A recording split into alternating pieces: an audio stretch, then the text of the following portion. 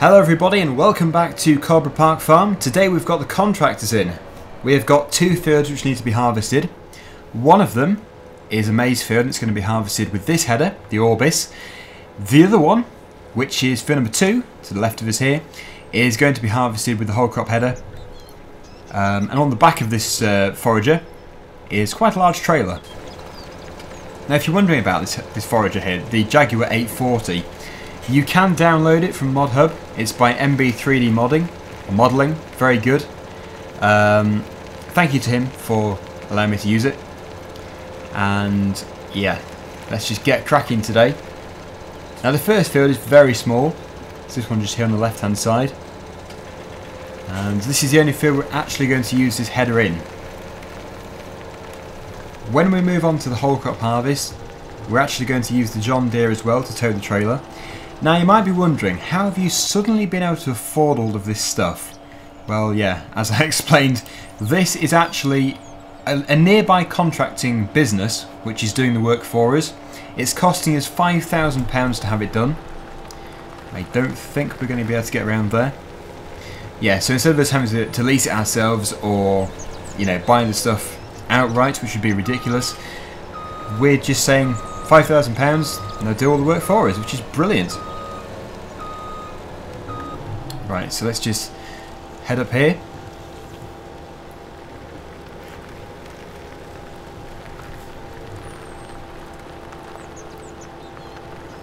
This is quite a tight field, so it's going to be a little bit tricky.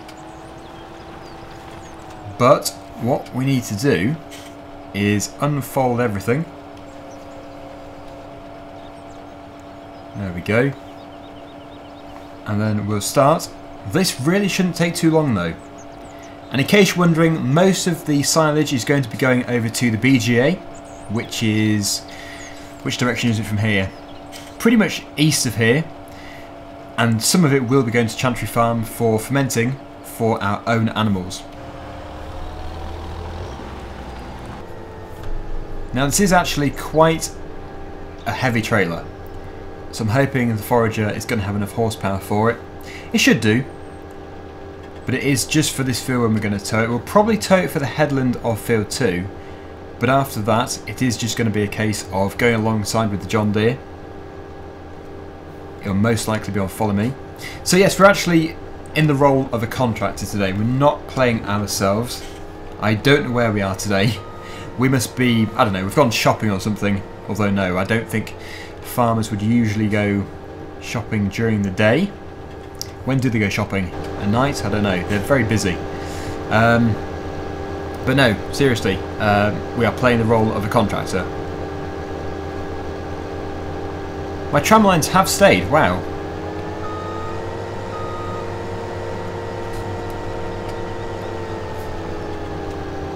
Now this is actually the very first Let's Play episode on the brand new Coldborough Park Farm.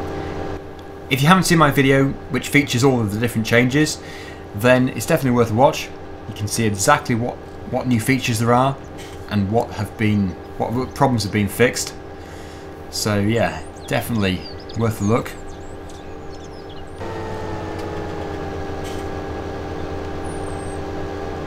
I think this first load can go down to the BGA. It's when we get nearer to the end of field number 2, that is when we'll go over to Chantry Farm. Now this field has been fertilised, field number 2 hasn't, so this is going to be the best year we get today. The reason why I've gone for such a big trailer is because it is going to be a fairly large job. And I don't want to waste too much time going backwards and forwards. It is quite a long way to the BGA, so we have to get as much in in one go.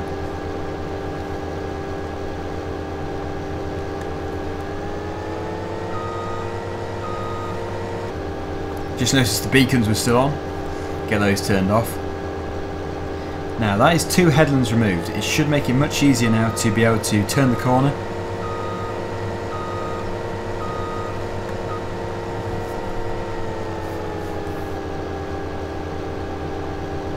Yes, I can feel the, the weight of this trailer. It is getting heavy.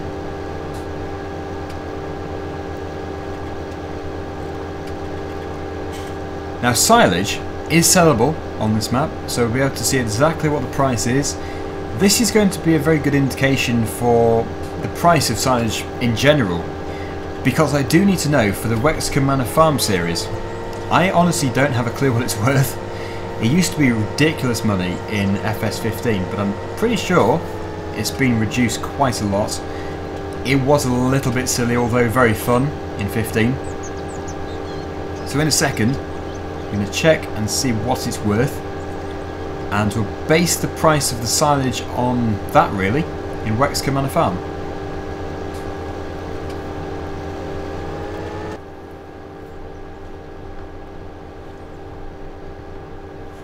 It's a shame we don't have a Claas branded whole crop header.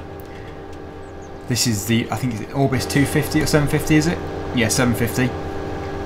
And yeah, this is good because it just looks the part on this harvester. Unfortunately, we won't be able to use it for the wheat. Now another thing with the wheat is because it's fully grown automatically, it is going to look a little bit strange when harvesting this. Ideally, we should be doing it when it's partially grown but that'll have to be in a future video because all of our fields have started off being pre-grown so yeah it's just going to look a little bit strange to begin with. Next time we do a whole crop harvest I'll make sure it is still green and not golden. Now this is actually the same save game as the previous version of the map, I have been able to transfer everything and thanks to Bullet Bill as well for telling me how to tr transfer everything so well that you can even get the fields to save the state they're in. So you know we cultivated field number two? No, not two, that's the field we're doing next. Field number seven, um, yes it is still cultivated, it hasn't regrown, which is brilliant. We have literally continued from where we left off. I think there is a tiny bit left. Yes, just over there. But no, this isn't a bad start, 76%. Looking good.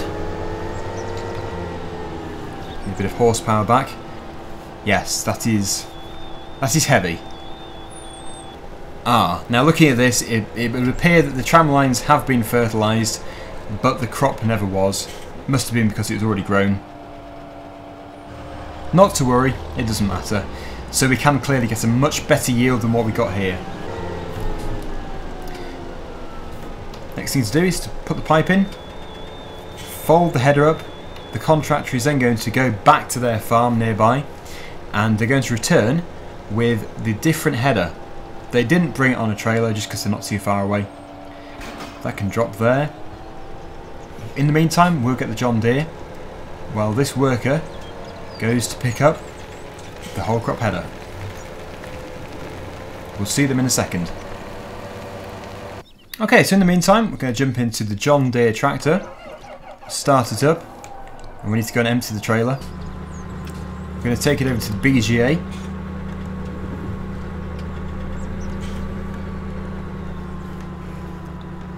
and we do have, well we technically have a shortcut, which we are going to use. We might have to drive slightly on our cultivated field, but I'm hoping the headland, the grass headland is going to be big enough for us to be able to travel down there, because it really does cut the corner very well. So this is the route we're going to take. Mind the pressure washer. Yeah, so basically right on the edge of the field here. Otherwise, we have to go a very long way round. It would probably take about five minutes going the other way, whereas this way it's about one minute. I think the gate's open. Yes, it is. Good. Okay, so we're clear. This is the first time I've been down here properly. This is new. Ooh, I should have covered that in the uh, what's new in the brand new update video. But I didn't. I should have done. Right, so here goes.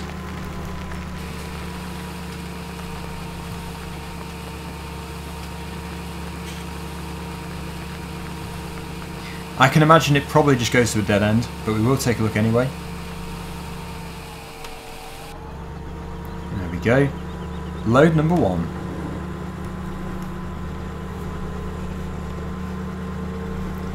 Yeah, this is a very good improvement because before the traffic used to just turn around here which was okay, but it could have looked better, like this. This is just going to be a very discreet way of hiding where the traffic begins, I would have thought. So it isn't going to look very good to show you, but we'll just have a very quick peep. I'm guessing it's going to be a total dead end. Ah, very clever, Bullet Bill. Very clever. There is an invisible barrier. Perfectly done. That is so good. Right, back up to the farm. We'll see if the forager is back. Hopefully it is.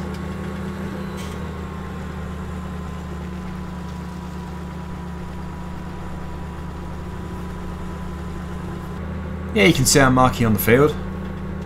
We haven't really touched it too much. And yeah, this field is going to have to be planted very soon. I don't really know which crop to do.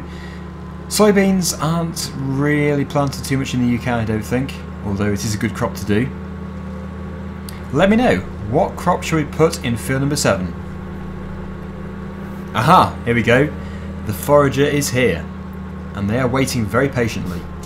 What we're going to have to do is drop the trailer off here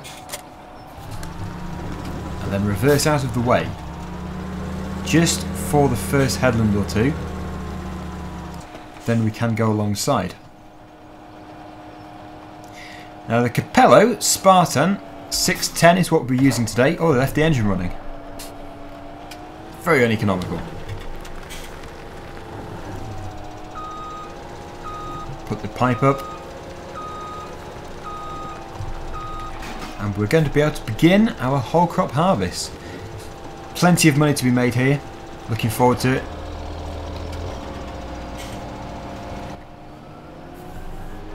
Off we go. Let's just hope it works.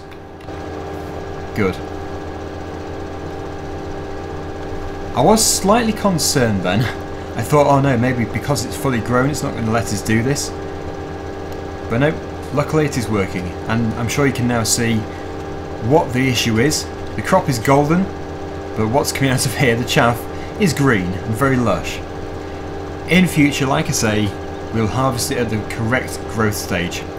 That doesn't seem to have worked. It's harvesting the grass, isn't it? Or isn't it? I don't know. That is weird. I hope it isn't. But the uh, if you go back in the video, you'll see that the crop type was flickering between two different things. Now, I think it sorted itself out now. It's getting very confused between... Is it barley? Yeah, between the barley and the grass verge. But no, it should now stay as just chaff. It's not an ideal situation. Now this field is pretty big, so there is plenty to be done off screen here going to try and make this as entertaining as possible. Don't want to do too much on the screen, otherwise it is going to be pretty boring. But certainly, every time we get a full trailer, I will show that being tipped, and obviously the progress of filling up the clamp. Now we could actually, if we wanted to, take everything to the BGA. Because we could, when it's fermented, still scoop it up, put it in the trailer, and take it over to Chantry Farm. Just depends which way we want to do it haven't really decided. But the sooner we can get the tractor alongside, the better. This is the first headland almost finished, so we are going to get the tractor alongside this time. It can tow it okay, it's just on some corners it's a bit slow. That really does show you how small field number 5 is. Field number 4, I do get confused with these field numbers. Yeah, field number 5 is just as small, there we go. Okay, so I'm going to put the tractor on the trailer. I can drive alongside. And as if by magic, our worker turns up. Looking good though. Think our tractor is the right size for the job. Distance seems to be okay as well. The only thing I need now is some kind of well, glance mod would be good, maybe the inspector mod, but I'll try and do it just by looking at the trailer. Also, I think the, um, the chaff does stop coming out of the pipe when it's full, so it should be pretty obvious. I know I have messed up before, but I have learnt from my mistakes.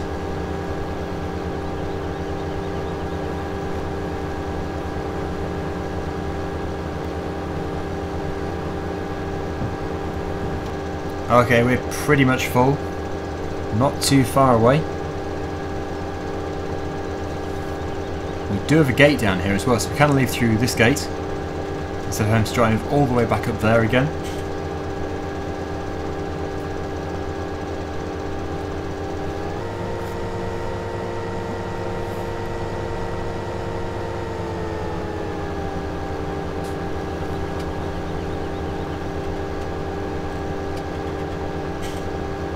It's 88% full. Right, so I think that is going to be it. I'll stop it there and just see. Yeah, I seriously need a glance mod. 97%, okay. We will just finish it off, as it is a long way to go.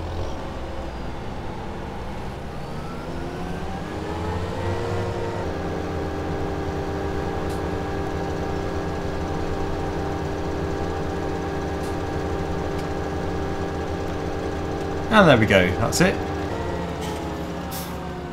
100% full. Good. Right, so we'll switch it off, follow me, and we're going to go over to the BGA once again, this time with a full load, 47,000 litres. Very impressive. We'll have the pit full in no time. All we'll need is someone to clamp it, which is the issue. We don't have anybody. I used to use Courseplay, which works very well. To be honest, I don't even have Courseplay installed. I really should get it. I'm assuming it is out for 17.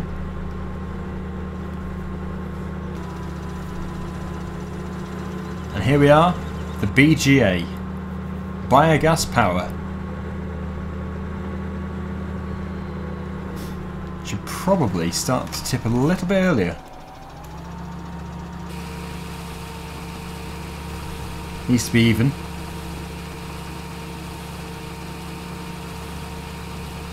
This is going to be good. Looking forward to this. The first proper silage harvest I've done. I have done a few small ones, but nothing really that big. And definitely nothing really with forage harvesters. We did one in Wexcombe Manor Farm, but nothing like the scale of this. Obviously we can do massive ones, but really, we don't need that much silage. Plus it will cost us even more in contracting fees.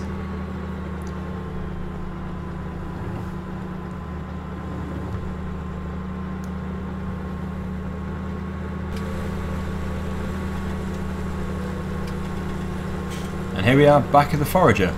So I'm going to set it up again. This time I'm going to put a bigger offset on. It's going to be further over to the left of the harvester. Not by too much, just slightly more and it's probably going to drive a little bit further in front as well as it can lag behind when it gets heavy so yeah this time 5.52 wait it says the right it's the right for this tractor and behind distance is going to be 10 which should make it better oh don't run over me running over the contractor right okay it up let's begin. We really should wait until it's fully warmed up so it powers everything up properly. There we go. Now this should work much more efficiently because um, before it was getting just way too close. Yes, that is so much better. Cab view. Good working mirrors.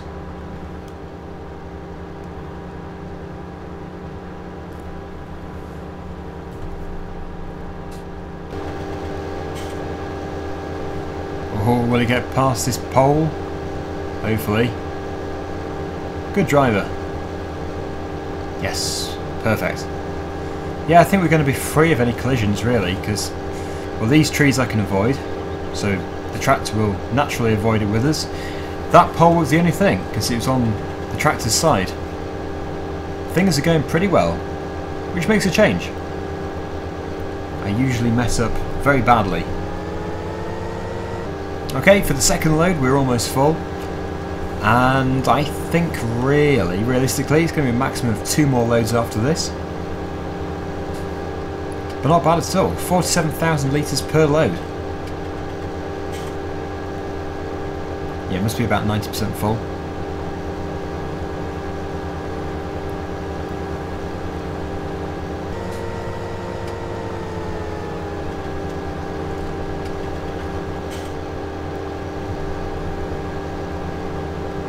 Almost there.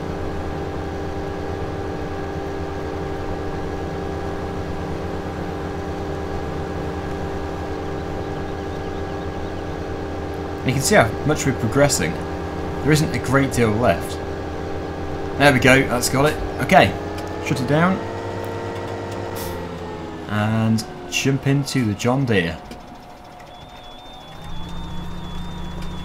I've lost track of how much we've actually got down there, but it's pretty good. It's about two and a half loads, two and three quarter loads.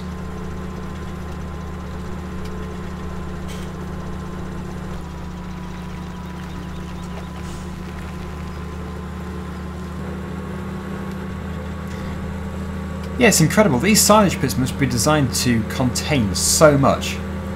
Because you can't exactly say we haven't really put that much in here.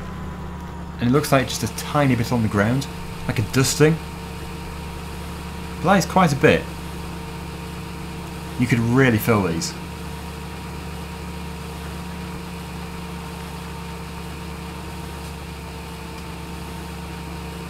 Okay, probably getting a little bit too much in one end.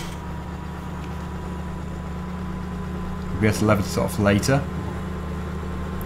But for now, back to the field for load number 3 of this field and load number 4 in total. Right, okay, so what I've just done is I have stopped the uh, harvester because what we need to do is put it onto this trailer as it's become too tight to be able to get around everywhere. The follow me is finding it quite difficult so this should work a lot better. Finish off in cab view as well. Now it's starting to go dark, which isn't ideal. But we're not too far off the end. Yeah, you can see the forager does struggle with this trailer, but it's still easier than having to wait for the tractor for like 10 seconds each time, although this is likely going to take more than 10 seconds. There we go. We're free. I don't know if it's the trailer hitting the harvester or if it's just too heavy. I really don't know. Weird. But it's just going to be a case of finishing up and we'll tip this load, the contractor will go home and that'll be it. Okay, so it's been slow. It isn't that good at towing it because it is a very big trailer. Um, but we are virtually full again, I'm amazed. Which means we are going to have to go empty. Can come back and probably fill the trailer about 5%. But as I know it's definitely not going to fit in here, I'll drop the trailer off now and swap it over to the John Deere.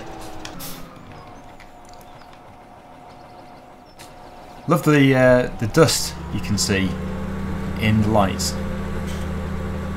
It's very realistic.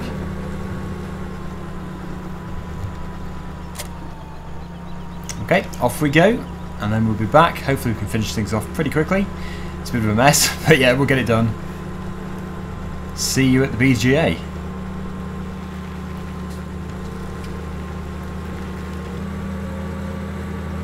A bit more on this side, that'll level it off.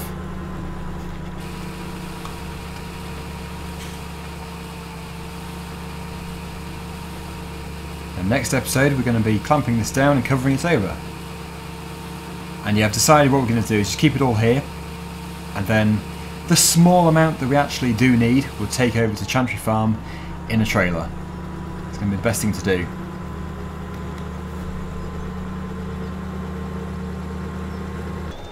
This is the final section just here. Get started up and we'll finish it off. So far I've got 5% in the trailer, so yes, it definitely wouldn't have fit in the previous trailer load. Uh, it's so close. If I hadn't emptied the first load before it was totally full, then it would have worked better.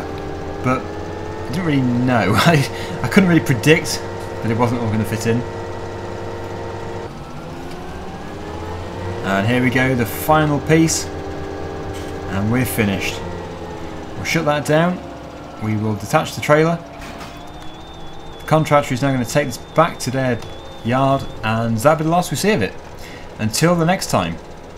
So they're going to drive away now, and we'll take the trailer down to the BGA and tip just, what was it, 8 or 9%? Nothing too serious. But anyway, yep, brilliant mod. And that is by MB3D Modding. The Claas Jaguar. Now we do actually have some bales in field number 23. They're going to be for the cows. We did them in episode 1 or 2, so they do need to be picked up. That'll be for a future episode.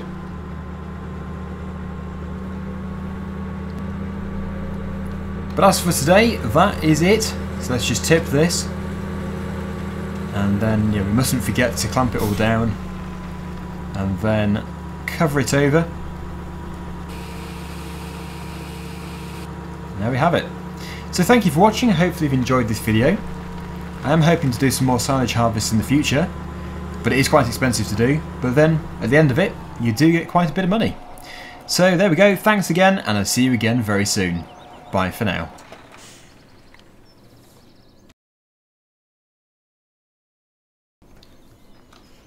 Okay, so in the meantime, let's just jump into here. Get started up. I'm going to drive over to the BGA with this trailer load. It isn't a full trailer, but we don't really want to take it over to field 2. We might as well start off with a fresh trailer load so it's totally empty. Okay, we still have a fertilizer spreader on the back.